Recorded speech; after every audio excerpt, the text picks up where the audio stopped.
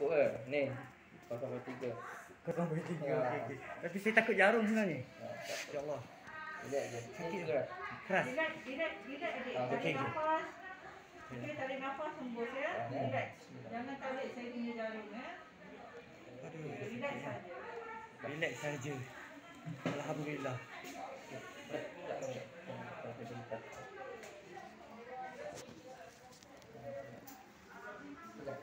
Pegang. Okey. Okey dah. Okey, terima kasih. Sama. Boleh keluar?